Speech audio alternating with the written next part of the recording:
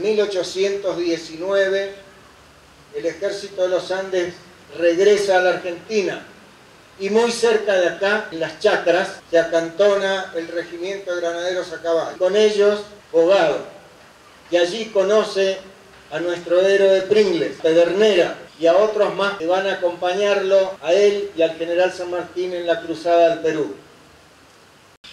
Queridos alumnos y alumnas que hoy reciben el escudo de Chancay. Chancay es Pringles, Pringles de bronce, Pringles de carne y hueso, con la presencia de los valores proclamados por San Martín y defendidos por sus bravos granaderos, para poner la mirada allí y marchar por la vida haciendo solo el bien.